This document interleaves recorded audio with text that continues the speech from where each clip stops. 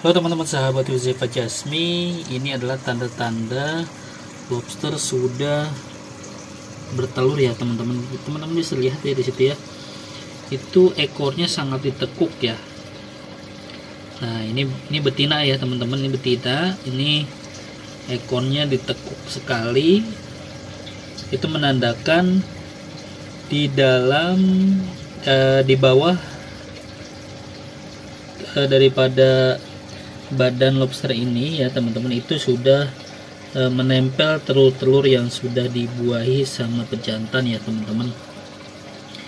E, jadi itu ciri-ciri e, lobster yang sudah melakukan pemijahan ya teman-teman atau sudah bertelur.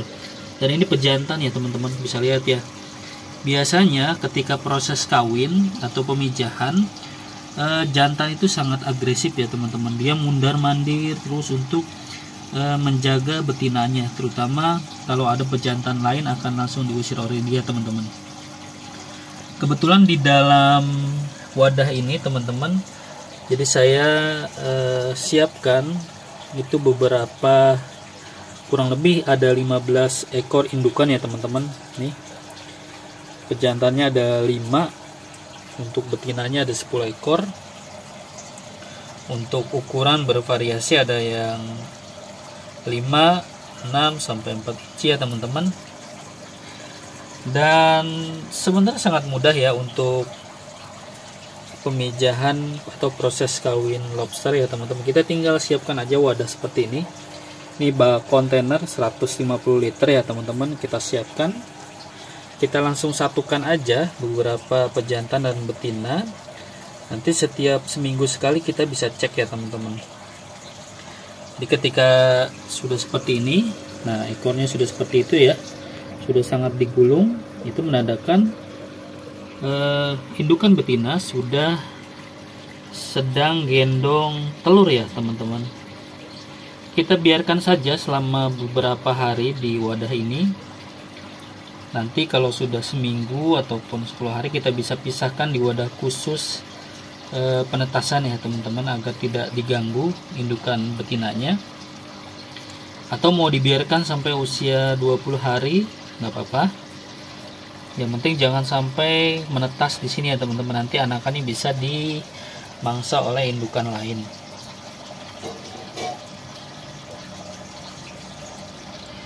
Biasanya untuk proses pemijahan itu terjadi di malam hari ya teman-teman. Jadi mulai dari sore hari hingga malam hari itu adalah proses terjadinya e, perkawinan antara lobster betina dan lobster pejantan ya teman-teman. Nah ini bisa teman-teman lihat ya. Nah itu ya. Betinanya yang sedang nah itu ekornya selalu ditutup ya teman-teman. Jadi kalau e, ekornya sudah sangat membengkok itu berarti sudah ada telurnya tapi kalau ekornya masih tertutup biasa itu biasanya hanya persiapan teman-teman. Persiapan untuk dia e, pemijahan. Jadi tanda-tandanya itu mudah sekali. Ketika ekor betina sudah mulai ditutup itu berarti dia sudah mulai siap untuk proses pemijahan.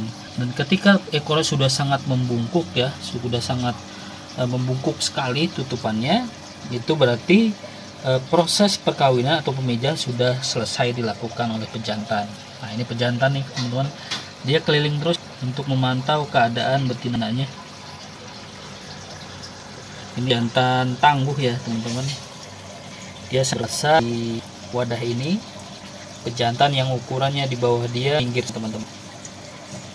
Oke teman-teman saja itu saja ya video kali ini. Semoga bermanfaat salam sukses dari Huzaifa Jasmi